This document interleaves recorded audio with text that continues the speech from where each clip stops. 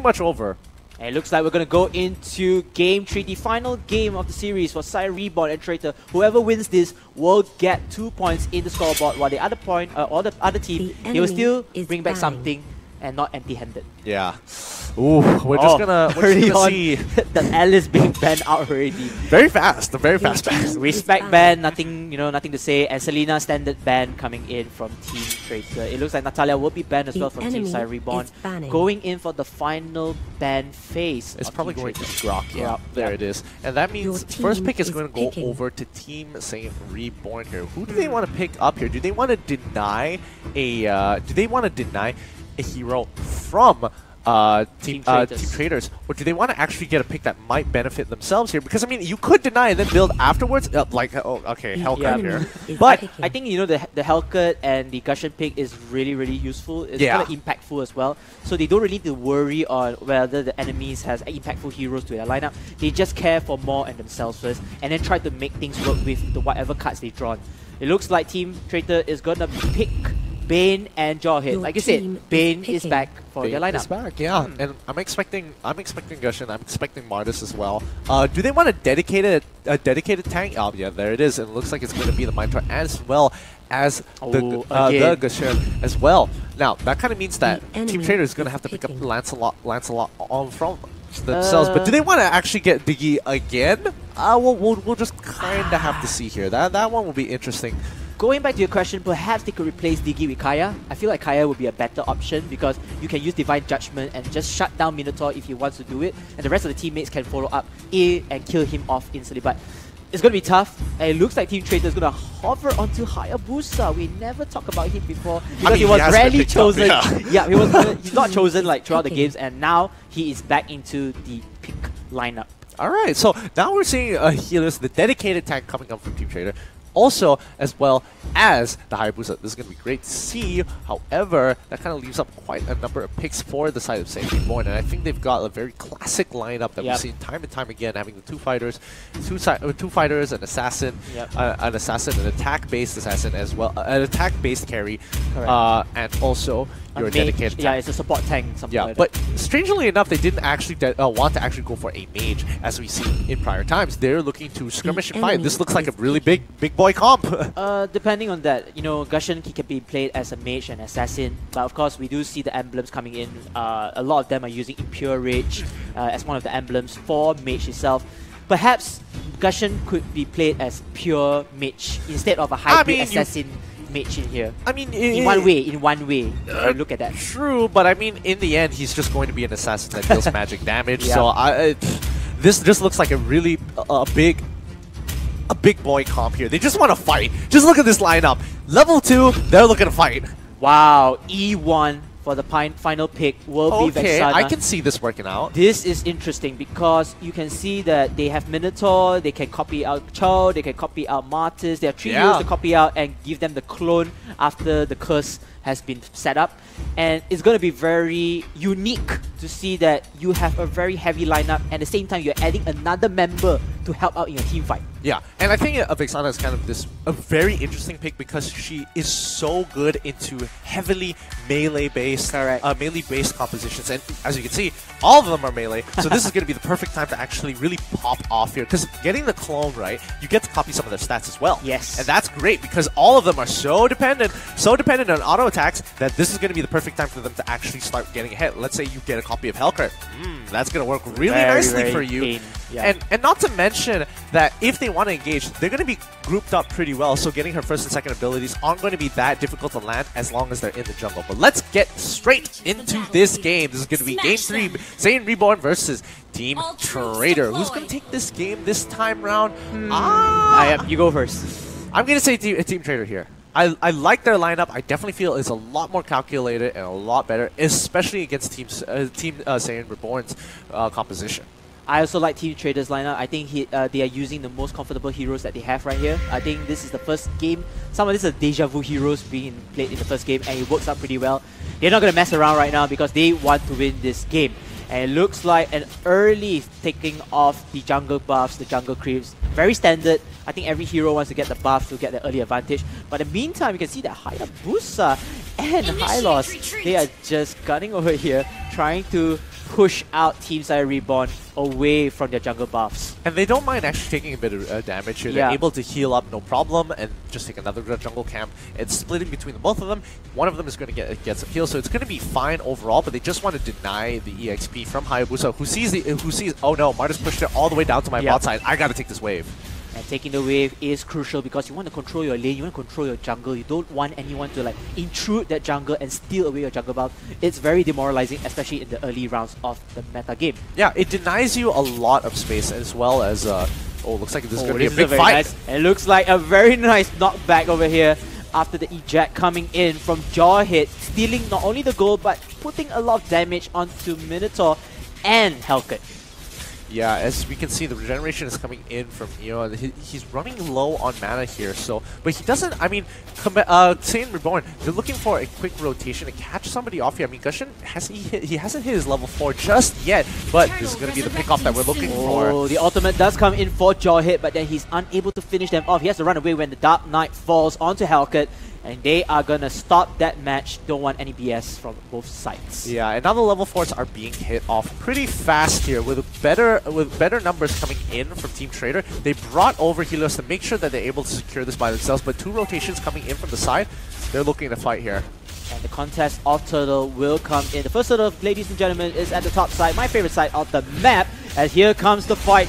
The top of the Helven's Highway is in place. The rest of the members will go in. While Traitor winning the Turtle fight. But then they need to fall back. First Blood comes in with the triple kill of Team Saiyan Reborn. And my oh my Gusion and the rest of the team wants more blood. Maniac coming in. 4k kill onto Gusion. Wow, that is a turnaround. And I think even though they lost the turtle, that is more than enough damage being done by Team Saiyan Reborn. Absolutely, a really great ultimate coming in from Evil here. He was in the perfect place. He hit three people with that Minotaur ultimate there. So really, a lot of respect coming to him because if he not had he not landed it, they probably would have only lo- they probably would have traded one for one. So with the help of Minotaur coming in and then uh, Team uh, sorry Gusion coming in as a clean sweep for I mean, it was set up. hand. Yeah, it was set. It was Wow. so set up for Gusion. But now, quick rotations coming in for Traitor. They want to get uh, some kind of a response here. they want to get the revenge kill. It looks like Minotaur is going to be the unlucky one to get damage. At the same time, he's going to pop out his ulti, trying to save himself over that deadly catch from Bane. Didn't look like Kachik was actually committing to the committing to the fight here because I'm pretty Yeah. sure he could have just flicked him over and then they would have secured the kill. Kind of, kind of strange that he didn't want to use it. It looks like the highway has popped out again, giving Team Saiyan uh, one more chance to at least defend their base. But then, it looks like the top lane will be hovered onto Traitor side. They will get the been top lane despite losing Hayabusa at the bottom lane. Meanwhile, the rest of the teams are just going to destroyed. scatter away back into safety. And this is kind of why you don't want to put Martis, uh, Martis, uh, uh, why you don't want to put uh, Hayabusa against the Martis because Hayabusa Okay. takes some time to actually come up online. Oh, Oh, I thought he was actually going to commit to it all in there. But yeah, as I was saying, Hayabusa can't, doesn't really come up online in the early stages of the game. He gets much better towards the mid game, Turtle and he needs that Bloodlust. Axe to really start pushing himself forward, to sustain in lane, and then after that start pumping out for damage from there on out. But it's just so difficult to do that sometimes, especially when you're up against Martis, because every time you stick your head in, you're going to have to take some damage, and then you're, you're forced to shadow, uh, shadow dash out of there, which in most cases, you want to hold that up. Yes, you want to hold the ground, stand your line at least firmly as possible. And like you said, if he were to back out, he's going to lose his economy game in the sense he won't get enough farm. He's going to get pressured every single lane. It's not good for a solo Hayabusa when he's supposed to take pushes. But then the fight comes in already. A nice ultimate coming in from Team Saiyan Reborn. They are needing blood. Martis, the Shuriken, will get the first kill of this war. And it looks like Traitors gonna fall back. They don't want to take this wall again. Absolutely, Traitors doing a really good job there. Uh, I mean, it's kind of tough. Uh, uh, it's kind of tough there because like they could decide to keep going for it, but as there, uh, I'm sorry, uh, Saiyan Reborn Reborn, yep. was able to pick off fish before he was able to do much in that situation. So. Uh, it's it's a give and take, but really nicely done. Saiyan Reborn coming in, uh, coming in, getting the pick off, and nicely done by Traitor for disengaging completely from the fight. And a huge credit to coming to Loom as well. I think his Decimate was on point. Oh, yeah, Instantly was. destroying the pick off from Team Traitor. And it's also a smart move from Team Traitor because they feel like they want to continue the fight, but they say, you know what, let's not risk it. Let's just fall back. Let's reset it. It's still early into the game. Yeah. Even though they are down by six kills. Exactly. Ouch. But just looking at the EXP, Hayabusa is starting to get ahead. He's going to have a, quite a bit of base damage later on. And this is what they've done previously and many, many times before. They're going to find on objective, take the objective, slowly peel back, rinse and repeat, rinse and repeat. It's already 6 minutes 15 seconds down the clock. Team Saiyan Reborn, even though they don't have the extra turret taken down, but they have a lot of farm in their hands. 6 kills, 0. Uh, 1000 gold lead, not too shabby, anything is possible back, while Team Traitor, they will need to at least win objectives in the map. At least get the map control first, getting the crabs in hand before fighting in the war. They need to pump up their Hayabusa and the rest of the members who's going to lead the war. Yeah, and this is kind of playing with fire here. Getting very, very close. Looking for an opportunity to go all in, which I understand, but uh, just you gotta give some respect. Uh, Team Saiyan Reborn, they it, they could try and set up a trap here, but can they really commit to it? Because they need to take out Vexana really quick. Because if the Lord, fight is prolonged, soon. Vexana is able to pump out more and more value out of the clones, and also her abilities will come off the cooldown as well. But it's just so difficult to, to really catch her off because she's always with the with her buddies next to her. They've got Ja, they've both got Jawhead and Alice right on top of each other. Like, what can you do in this particular situation? And team fight comes in after the bushes. It will be Team Traitors to stab them from the back. But it looks like Helcurt is going to get the kill onto that, giving Team Traitors that disadvantage in the fight. Hylos, meanwhile, is able to get the trade off from this angle before Gusion getting his own monster kill. And the double kill comes in. Gusion, he's just going all in right now for Team Saiyan Reborn. And they one blood. CeeLo is there, and he will be assisting Team Saiyan for the kill. Yeah, this is not looking too good for Traitor here. One more team fight, they're going to be at least an item ahead of them. And that's going to be rough to deal with because right now they are a couple of components ahead. Not too bad, but they're going to be waiting for their next power spike. I mean, they're getting up the Demon's Advent once more. They're just going to slowly push up ahead. They're following the same build as last time, but finally the Endless Battle being unlocked by Fade. He's going to have a good amount of damage now, but will he be able to 1v1 pretty much anybody onto the side? I, I'm pretty sure he can take out Helcurt given the time, but everybody else from the side of Saiyan Reborn uh, is going to be a little bit more tougher to kill. Tougher to kill indeed. Even though traitors, they are a much more well-balanced play, but again, you have to take note of Team Saiyan Reborn. You have three members who can deal so much damage. As you can see in the screen, ladies and gentlemen, the come fight will go in here as Gusion gets another kill, giving him the legendary status in town. And traitors, they have to feel very, very afraid and petrified.